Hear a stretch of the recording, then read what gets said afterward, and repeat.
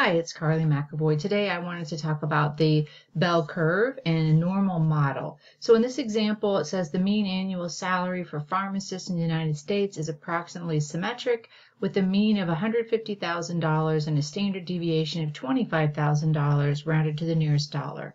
Label the normal distribution model for this situation and this is these are numbers actually more like Washington State, but we're going to just go with these numbers, even though I don't think these are exactly what you would find for the United States.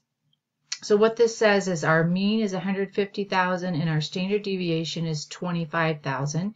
And of course we use mu for our mean and we use sigma for our standard deviation. So what we want to know is what we know the mean, which the mean's right in the middle, and then what's one standard deviation to the left and one standard deviation to the right.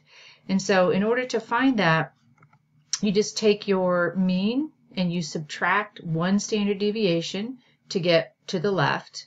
That'd be 125,000. And then you add 25,000 and to get to the right. So if you think about 150,000 being in the middle, take away 25,000, you're one down, add 25,000, you're one up.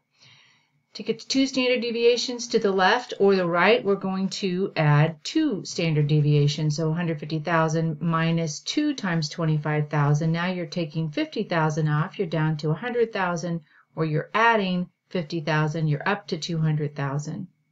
And finally, for three standard deviations, we would multiply that standard deviation times 3, and that would take us all the way down to 75,000 and up to 225,000.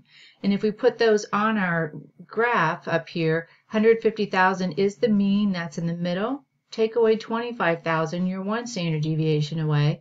Take away another 25,000, you're two standard deviations away. And take away another standard deviation, you're three standard deviations away. And on the other side, as you add 25,000, you're going up.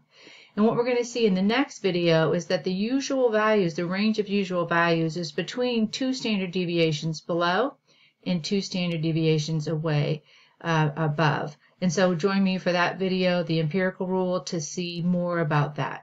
Thanks and have a great day.